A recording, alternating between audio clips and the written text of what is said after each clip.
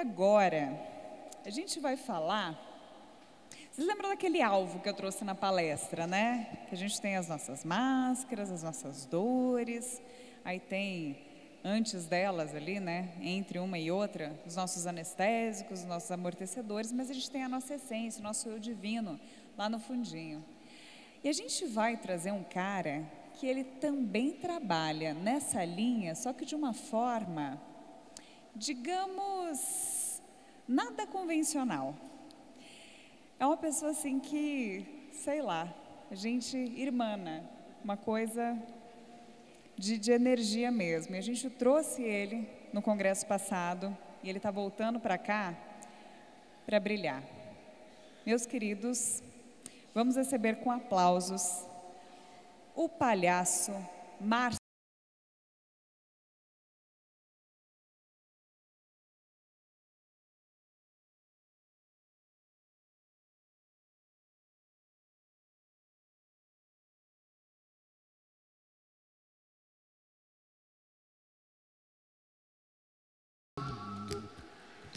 Nossa, que astral. Depois do almoço, né?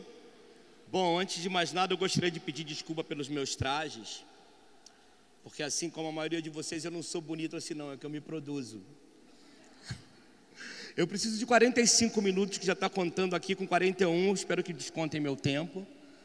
Eu tenho 44 minutos da atenção de vocês para dar sentido mais publicamente o que significa a arte do palhaço. Eu estou falando mais pausadamente assim, para que o som chegue bem aí. Uma salva de palmas para a equipe de som que está operando um milagre de fazer todo mundo ouvir bem aqui. Já alugou os fones, então eu tentarei ser mais pausado. Bom, é uma honra muito grande estar num congresso como esse, num momento como esse que o país está vivendo mas principalmente por estar num encontro onde várias tecnologias humanas estão sendo apresentadas. Eu chamo de tecnologia humana toda, toda tecnologia, todo arsenal que impele o ser humano a entrar em contato com ele mesmo. Então, nesse pacote aí, estão todas as filosofias, psicologias, abordagens psicanalíticas, psicoterapêuticas, abordagens cognitivas, comportamentais, todas as artes, todas essas coisas que fazem, todas as práticas contemplativas, meditação, yoga. E eu tenho a oportunidade de trazer a arte como tecnologia, porque de todas essas tecnologias, eu considero a arte a mais contundente e eu digo por quê. Porque todas as outras impelem o ser humano a ter contato com ele. Porém, a arte te obriga a expressar-se. Expressar é diferente de comunicar. Comunicar é o que eu estou fazendo agora, comunicando um conhecimento. Porém, expressar-me, eu tenho que acessar o meu subconsciente, as minhas subjetividades, e ainda que não estejam tão claras, eu posso traduzi-la em forma de poema, em forma de quadro, em forma de música, em forma de cena. Eu costumo dizer que o artista é um ser em estado de rendição. O artista é aquele que se rende, que não dá conta. Ele não dá conta de entender a relação dele com a família, ele não dá conta de relação dele com, com o casamento, com o emprego, ele se rende, mas ele diz: Mas se ainda assim você quiser uma opinião minha a respeito disso ou daquilo, o máximo que eu talvez eu consiga lhe entregar seja esse poema, seja essa pintura.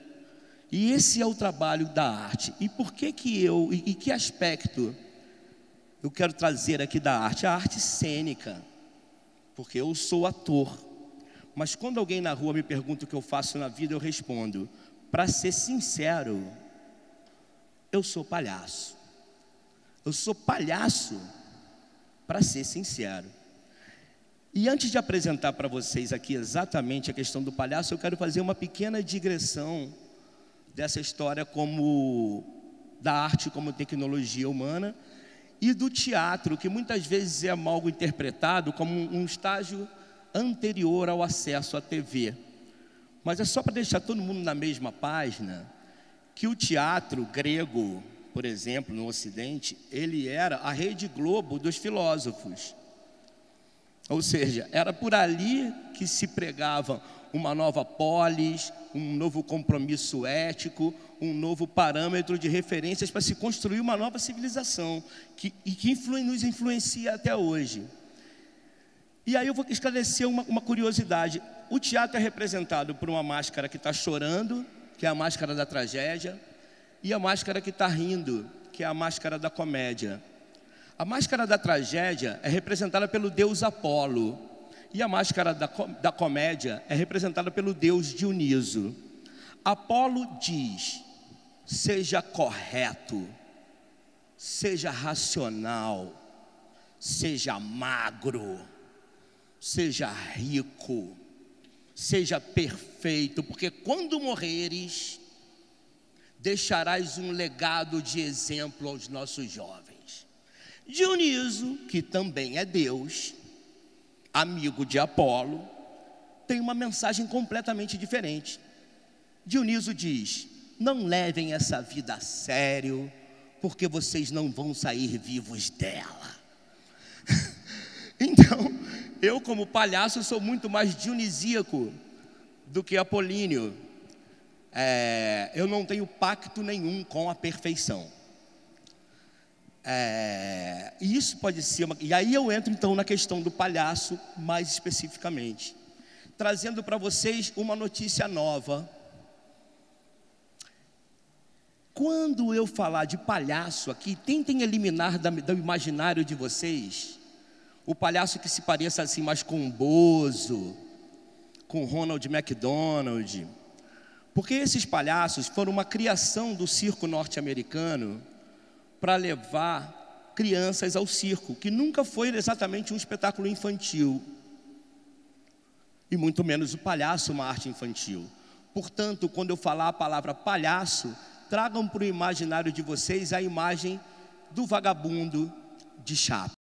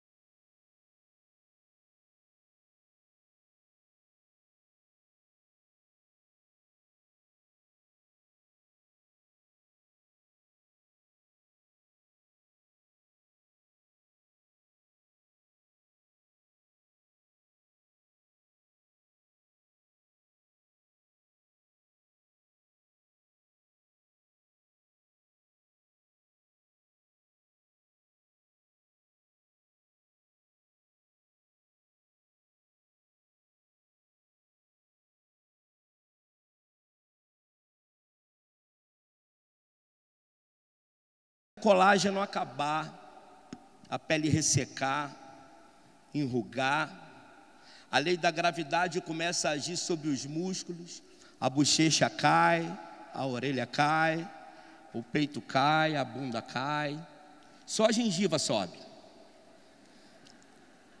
E nessa o dente cai.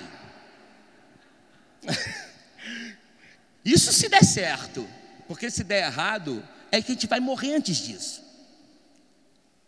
Se tudo der certo, eu vou estar dando palestra com 75 anos, com, a, incontinência urinária. Chego lá para ir no banheiro e com sorte eu chego a tempo. Isso é se der certo. Ri mesmo, é isso que é a arte do palhaço, a gente ri dessa desgraça. Ri melhor quem ri de si, se não ri melhor quem ri votril. Bom, obrigado. Nem esperava, mas pô. E é muito interessante isso, essa ideia do perdedor, porque se cria uma sensação no público de que a arte do palhaço é uma apologia à perda. Vejam bem, o circo é um espetáculo que desafia a lei da gravidade e a morte. O salto é mortal, o globo é da morte. Espetáculo de homens e mulheres com corpos perfeitos.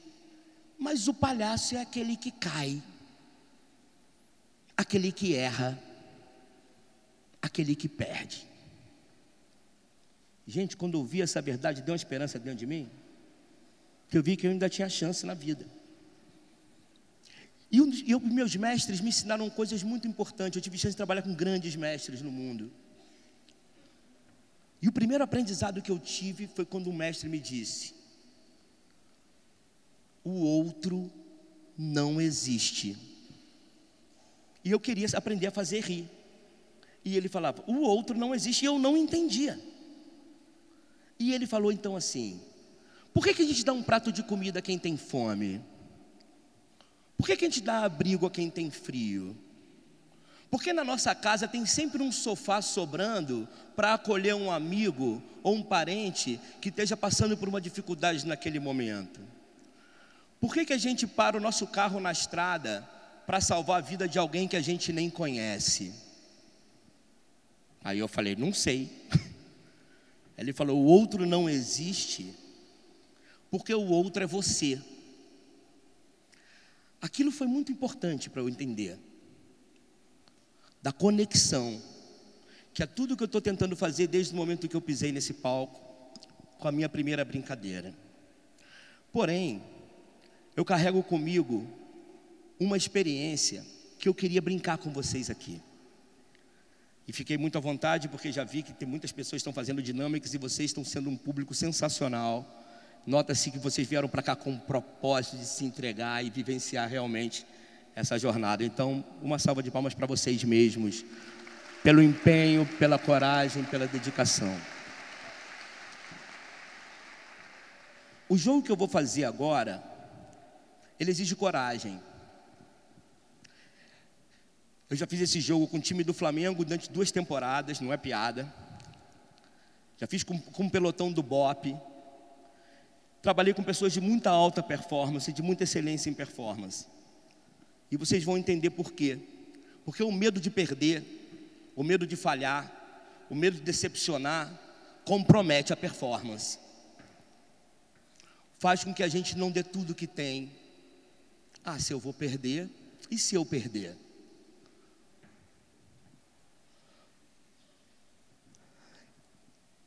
Eu vou fazer um jogo que eu venho aperfeiçoando há 20 anos, que chama o jogo dos representantes. Que ele lida exatamente com a coragem de ser imperfeito. E se o palhaço é o perdedor, é sinal que existe um vencedor, ou uma ideia de vencedor. Qual é a ideia de vencedor? O vencedor é o que atinge o sucesso financeiro, sexual e social. A maioria de nós somos incompetentes para ganhar esse jogo. Todos nós, um dia, e eu quero que vocês se lembrem desse dia, porque ele vai ser muito importante na nossa dinâmica aqui.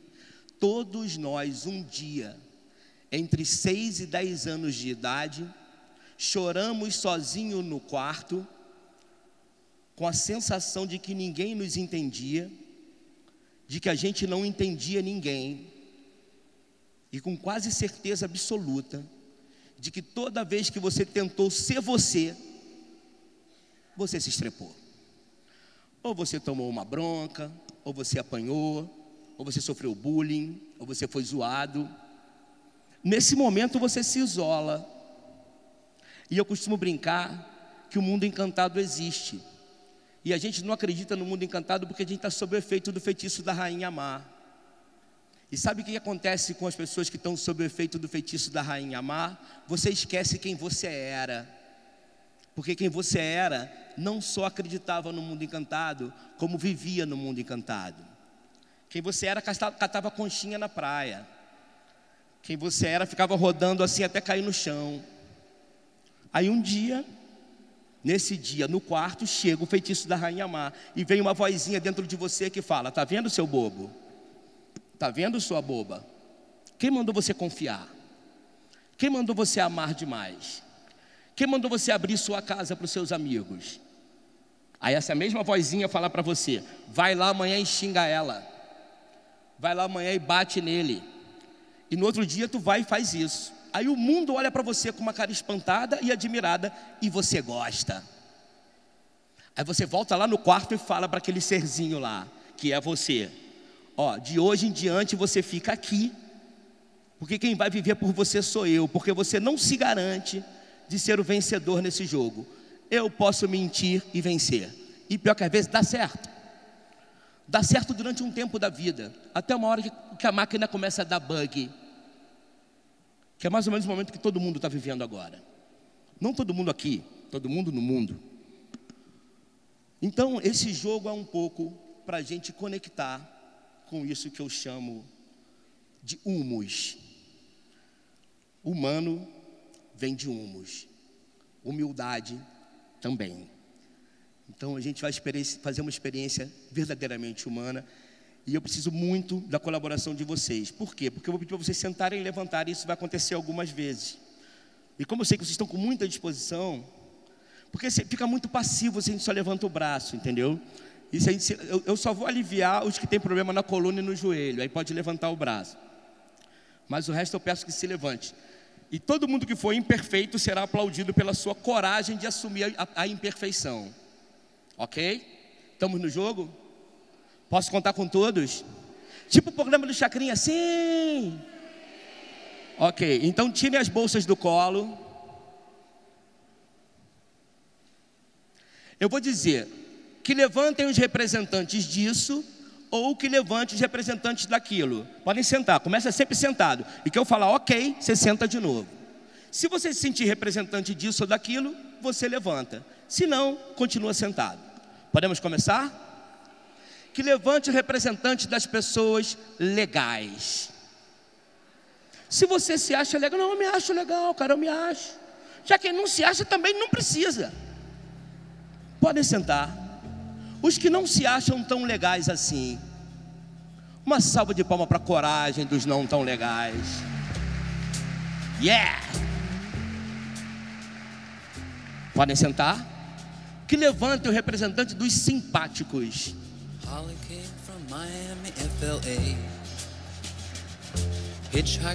Ok, quando eu disser ok, pode sentar.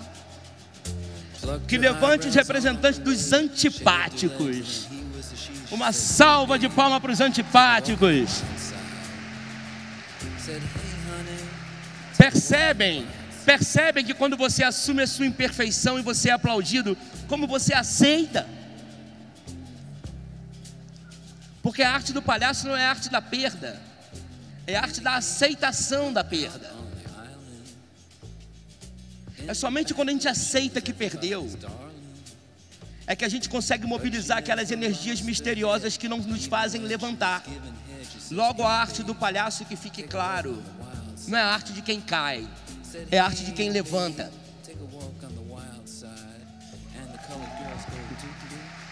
Um ser humano comum tropeça e cai, levanta com muita vergonha.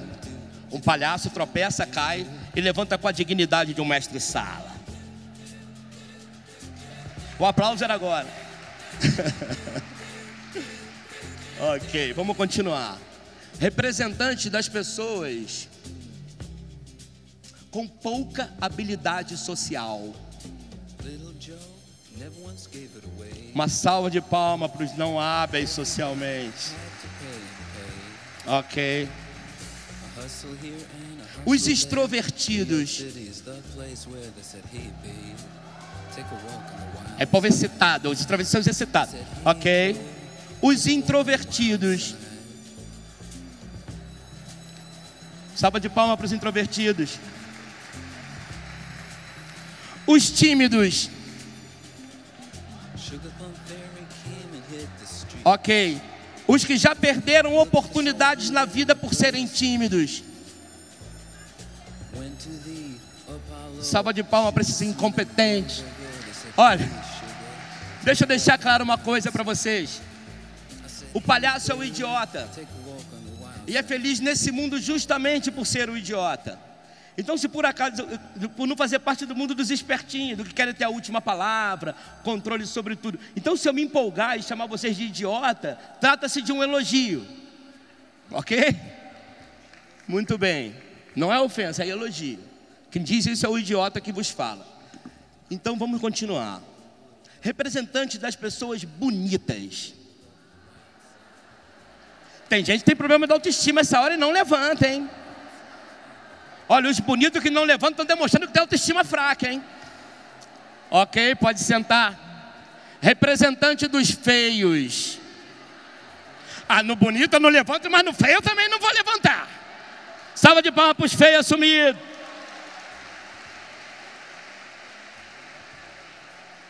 Agora a gente vai subir um pouquinho o nível do jogo, ok? O jogo vai ficando difícil, é igual o videogame. Ele começa no nível easy depois vai para o nível normal e depois vai para o hardcore. A gente, agora, agora a gente vai entrar na fase um pouquinho mais sutil. E talvez vocês sejam acometidos de memórias, lembranças, sentimentos e emoções.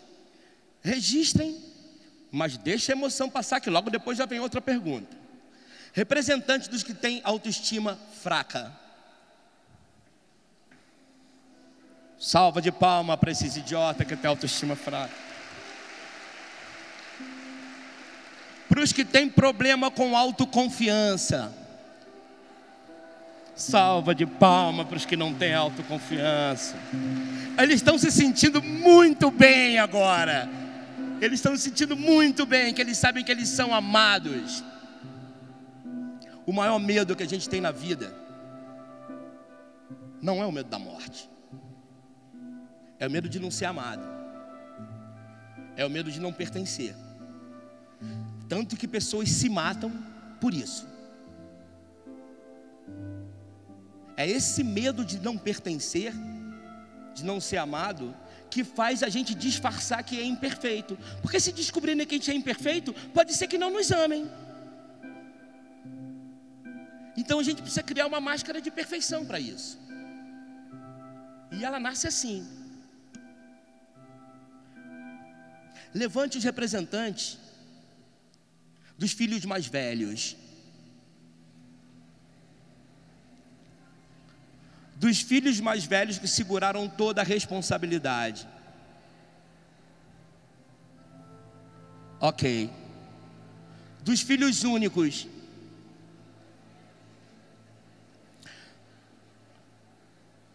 Dos caçulas. dos caçulas que ficaram com a responsabilidade de cuidar da mãe. Uma salva de palma para eles.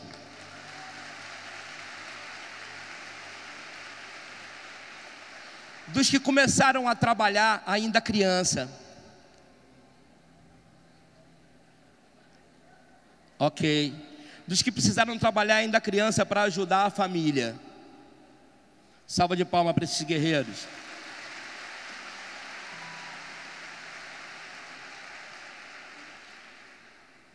representante dos que viram o pai ir embora de casa.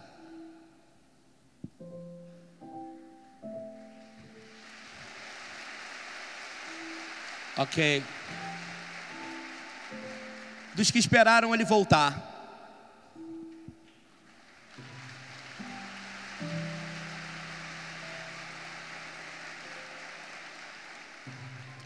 Dos que tiveram um pai ausente.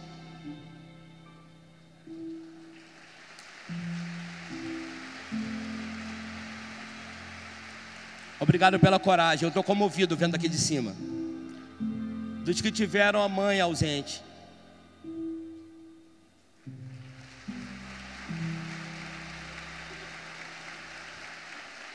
Ok. Dos órfãos de pai e mãe.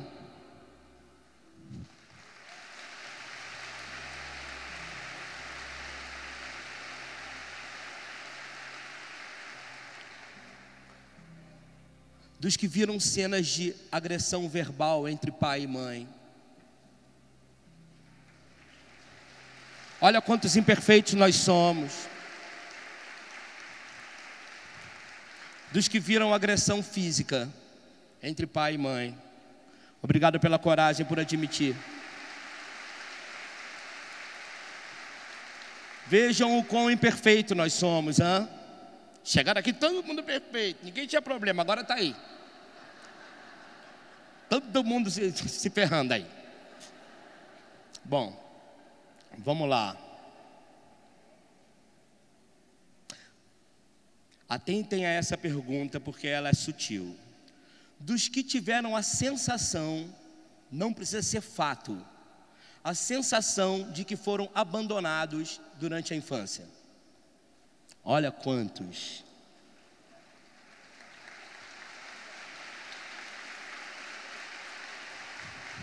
Ok. Agora uma sequência de coisas que, que acompanham as pessoas que têm essa sensação de abandono. Quer ver? O representante das pessoas boazinhas. Bonzinhos são aqueles que cuidam melhor do outro do que de si. É um padrão muito do abandonado. Não só, mas é um padrão do abandonado. Podem sentar. Dos que cuidam melhor dos outros, achando que se não cuidar, o outro não vai gostar de você. Estão se vendo, né? Estão se vendo, né? Muito bem. Outro do abandonado, hein? Dos que compram lembrancinha de Natal no final de ano para todo mundo. Padrão. Muito bem. Dos que ficam tristes quando não lembram de você. Salva de palma para esses abandonados. Agora, uma muito capciosa, uma muito capciosa, também para os abandonados, dos que sempre que entram numa relação são abandonados. Salva de palma para os abandonados. Ainda para os abandonados, dos que sempre entram numa relação e abandonam. Não tem escapatória. A última para fechar dos abandonados, dos que nunca entram em relação nenhuma com medo de ser abandonado. Olha aí. Seus imperfeitos. Agora vamos pegar uma outra categoria de gente também muito comum entre os que performam. Quem daqui foi muito cobrado de resultados na infância? Vou emendar. Quem foi, foi cobrado para ser sempre o melhor? Quem com o tempo virou um entregador profissional, competente no cumprimento das tarefas? Ok. Agora uma capciosa, podem sentar. Quem, quando entregava resultado para a família, recebia olhar de amor e admiração? Ok, podem sentar. Quem, quando entregava o resultado para a família, ouviam, não fez mais do que a obrigação? É a maioria. Então, para quem é pai, pensem no que vocês dizem para os filhos. Podem sentar. Quem foi comparado com outros, vizinhos, primos, quem foi comparado? Um detalhe dessa pergunta: quem nessa comparação era sempre o pior lado? Ok. Quem com o tempo passou a se comparar com as outras pessoas? Quem passou a se comparar com outras pessoas sendo a melhor parte? Então, para completar, quem se tornou arrogante? Uma salva de palmas para os arrogantes. São padrões de comportamento. Dependendo do que você recebeu na tua base na educação, você vai ter uma série de padrões de comportamento que você não tem consciência nenhuma que tem. É o teu cérebro automático que está agindo, não é você. Seguindo em frente. Quem tem pai alcoólatra? Obrigado pela coragem. Quem tem a mãe alcoólatra? Obrigado pela coragem. A mãe depressiva. Salva de pau. O pai depressivo.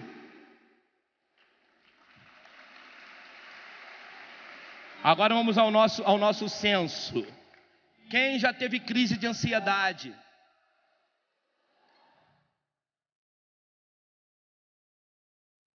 Ok. Quem, quando teve crise de ansiedade, achava que ia morrer aquela hora? Agora estou entendendo porque está cheio Congresso da Felicidade.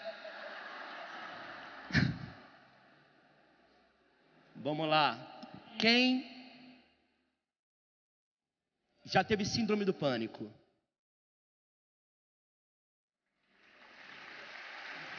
Ok. Distúrbios alimentares: obesidade, anorexia, bulimia. Ok, só distúrbio, hein, galera? Vocês viram que eu entrei só no distúrbio. Dos que já ficaram sem vontade de viver. Obrigado pela sinceridade. Dos que já tiveram vontade de morrer.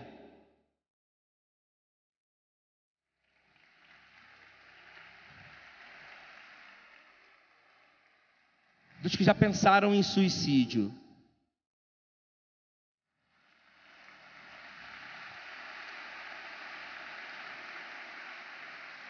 Dos que já tentaram suicídio. Ainda bem que vocês não desistiram.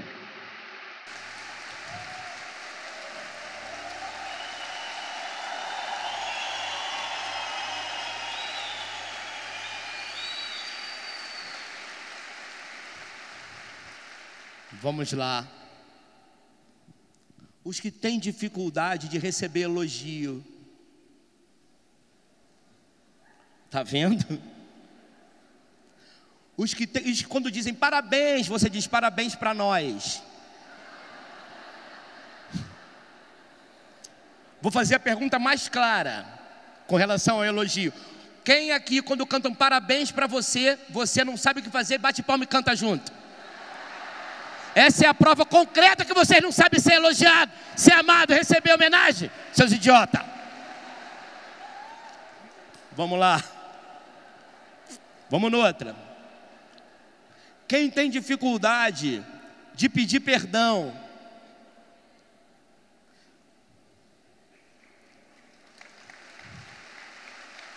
ok, de perdoar. Ok. De se arrepender. Arrependimento e perdão são duas palavras muito fortes. Se não fossem Cristo, não teria perdido tanto tempo com elas. Arrepender-se é difícil, porque quando você se arrepende, você não tem outra saída a não ser pedir perdão. E você só perdoa aquele que você vê o arrependimento.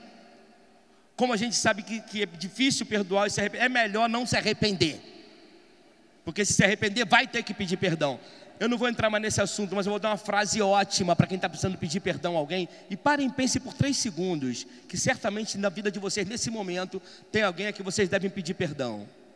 A frase boa para começar é: Eu não espero que você me perdoe, porque o que eu fiz com você é imperdoável. Eu só queria que você soubesse que eu não fiquei feliz quando eu soube que te fiz sofrer. Isso ajuda muito.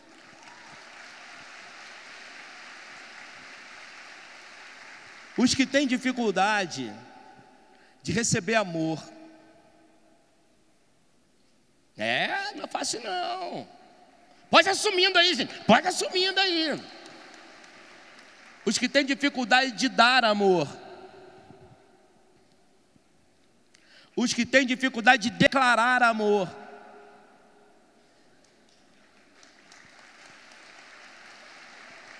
Os que têm dificuldade de demonstrar amor. Ok. Eu tenho conversado com muitas pessoas acerca do amor. E é impressionante a quantidade de homens, estou falando agora do, do, sexo masculino, que vem a mim dizer: Cara, como é que eu demonstro amor à minha mulher e ao meu filho sem ser com presente? Eu não sei fazer isso se não for dando um presente. Eu pensando muito nisso, eu cheguei a uma frase que é mais poderosa de demonstrar amor, que não é eu te amo, e é tão curta quanto. É a frase que diz: Eu tô aqui. A frase eu tô aqui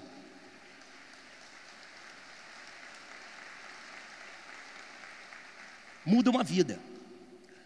Muitos advogados teriam se tornado músicos se ao comunicar isso ao pai, o pai dissesse: Meu filho, eu estou aqui. Muito, eu vejo quando eu vou visitar minha mãe idosa, e adoro dizer para ela: Mãe, eu estou aqui. Eu estou aqui, muda uma vida, salva uma vida.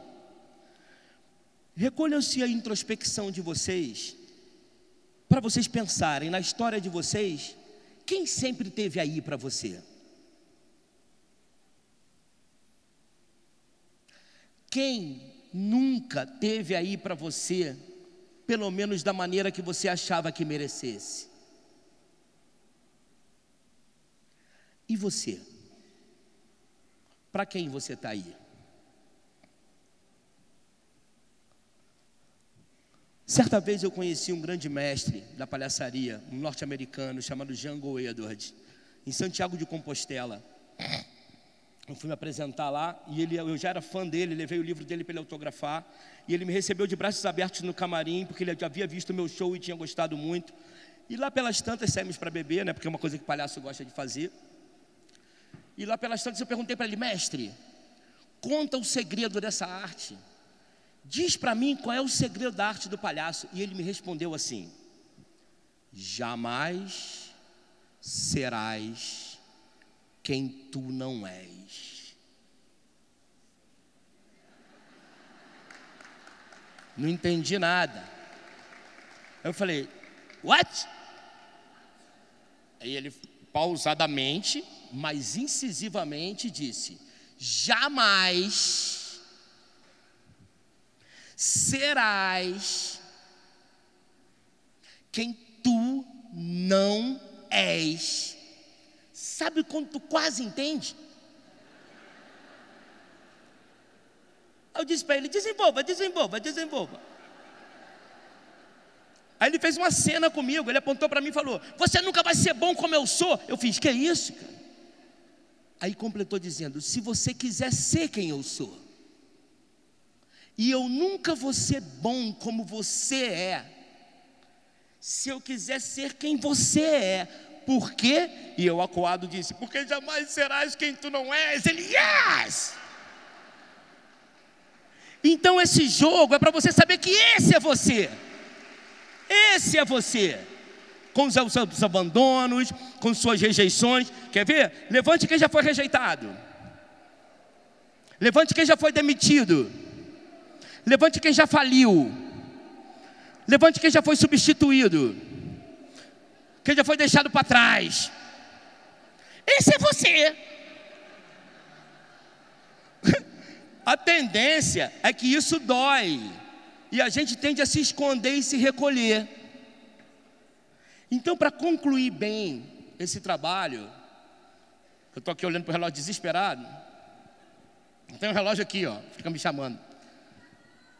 Eu vou pedir, eu vou pedir para vocês focarem no eu. Quando eu falei a história da criancinha no início, que chorou no quarto, e aquela voz, vamos entender que aquela criancinha é o eu. E a voz é o ego. Certo? Quando a gente fala eu, qual é o gesto que a gente faz? Pô, por que, a gente não faz assim? Por que, a gente faz assim? Por que a gente bota a mão no coração? Porque o eu é aqui. Veja bem.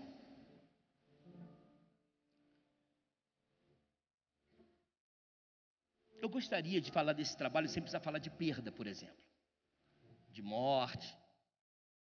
Mas uma coisa que essa profissão me ensinou é que não ama verdadeiramente quem não pensa na morte. Então eu vou convidar vocês para um exercíciozinho final, que é fechar os olhos e botar a mão no teu peito e ouvir teu coração bater de verdade. Fechem os olhos. É importante que vocês fiquem introspectivos nesse momento. Abaixem a cabeça. Se volta para dentro de você. E se lembrem apenas de um detalhe.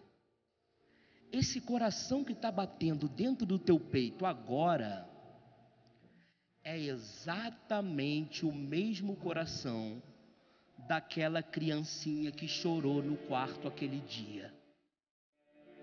Olha onde ela está. Respira fundo, jogando ar dentro do teu coração, como se você quisesse jogar oxigênio para essa criança.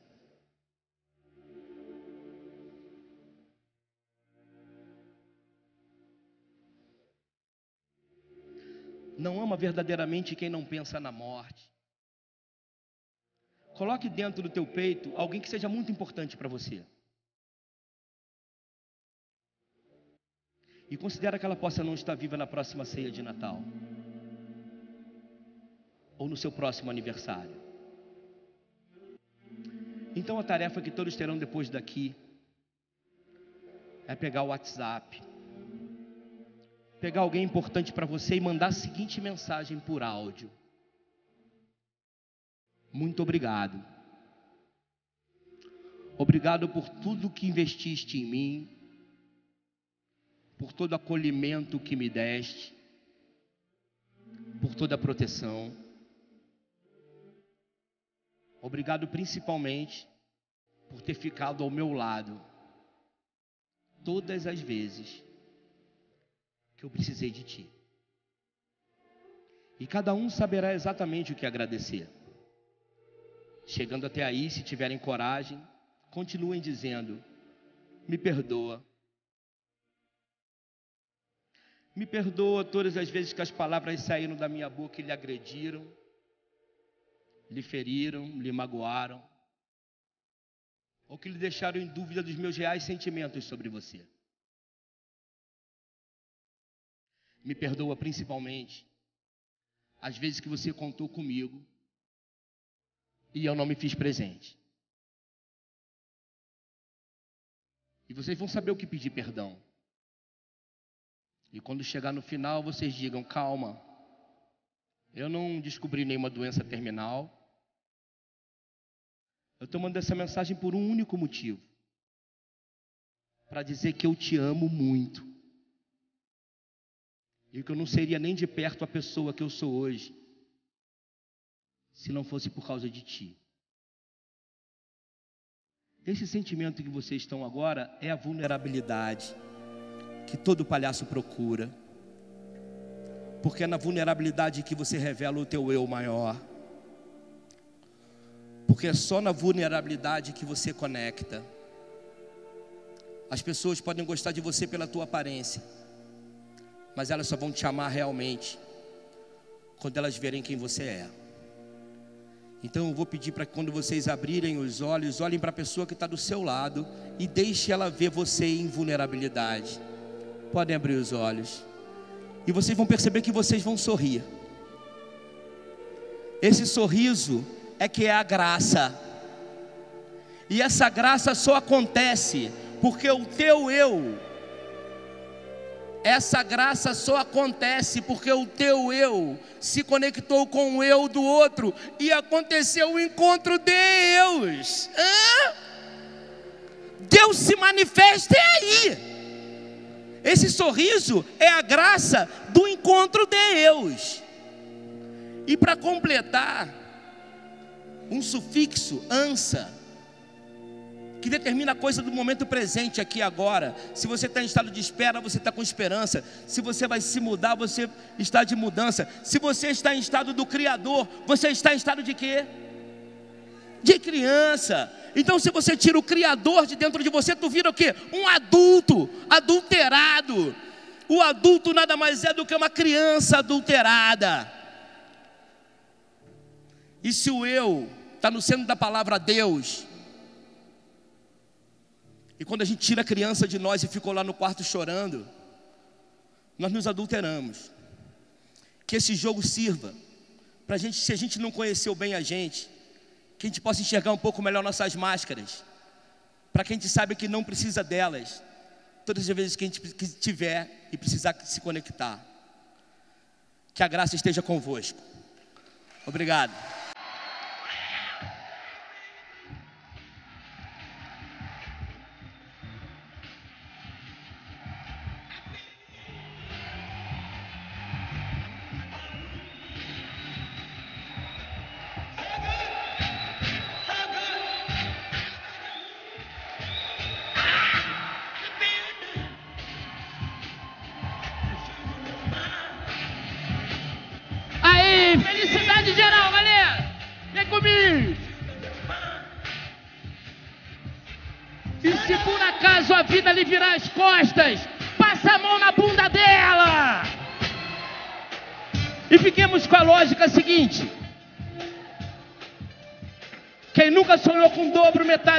Metade